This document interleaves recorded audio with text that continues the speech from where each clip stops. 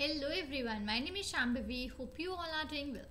So in this video, I'm going to tell you about one amazing internship which is actually by Intel. Okay, we all know about Intel a lot. So this is an internship which is a graduate internship.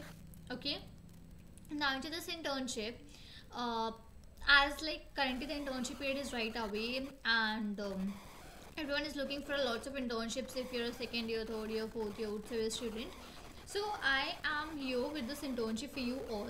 So into this what is to be done? Here first of all we are having a application deadline that is 21 days are left for this particular internship to be switched out. Okay. So yeah you can go ahead and apply for this. So this eligibility is all the engineering students whosoever is in engineering. You people can enroll into this particular internship. What is it about? So internship, this is actually about that. In this position what do you have to do? You will be working as a graphic software engineering intern okay in this particular team.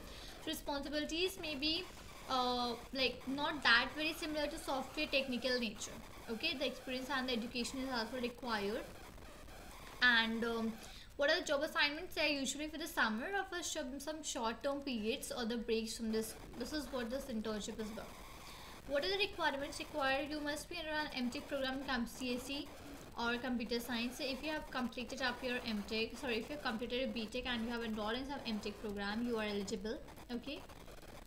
Some additional qualifications are also needed like your c or c++ languages experience in the software development using these particular languages or you need some familiarity with intel client platforms as well.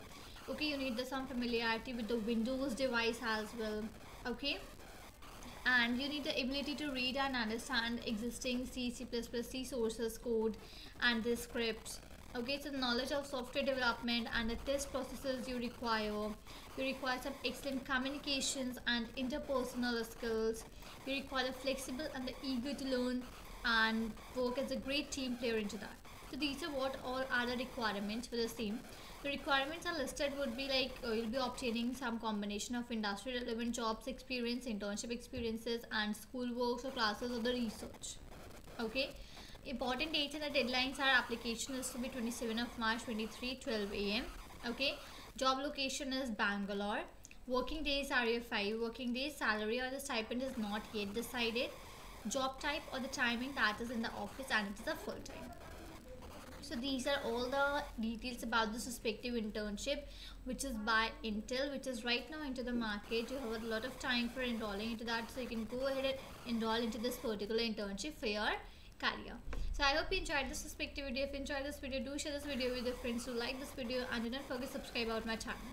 We'll see you there in our next video